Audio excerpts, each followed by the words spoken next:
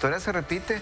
Esos chubascos prevalecen en las sierras y en zonas aledañas en el occidente, centro y sur del país y a lo largo de la Sierra Madre Occidental. Mientras tanto, vemos aquí en pantalla el viento del norte dirigiéndose hacia el sur, precisamente aquí hay un frente eh, frío a lo largo de la línea frontal, chubascos y estará llegando a la región. Y lo que comentaba Josué, precisamente eso va a traer consigo un cambio en las condiciones atmosféricas para los próximos días. Hoy persisten las altas temperaturas. Si gusta de las altas temperaturas, hoy es un día especial, 34 la temperatura máxima, medio nublado en parte de la mañana, pero soleado a partir de mediodía, durante la tarde, bochornoso.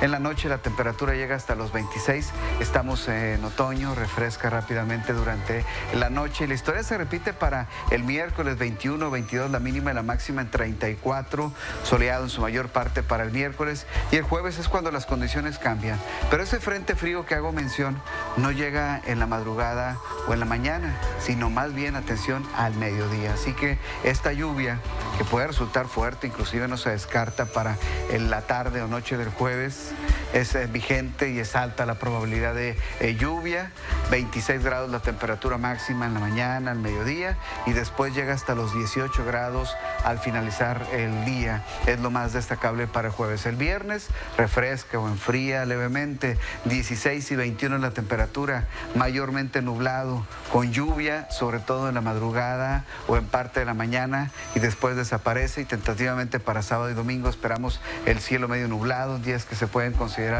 frescos o templados, con mínimas entre 16 y 18 y máximas de 25, en típicos días del otoño, por así mencionarlo, para el sábado y el domingo, y dejamos atrás este periodo extraordinario de calor, que no ha llegado a extremos de temperaturas de más de 35, 36 grados, pero sí destacamos cómo de manera sostenida durante casi una semana las temperaturas han estado entre los 32 y los 33 grados aquí en la ciudad, mientras tanto las máximas se estiman para hoy en Nuevo entre los 33 y los 35.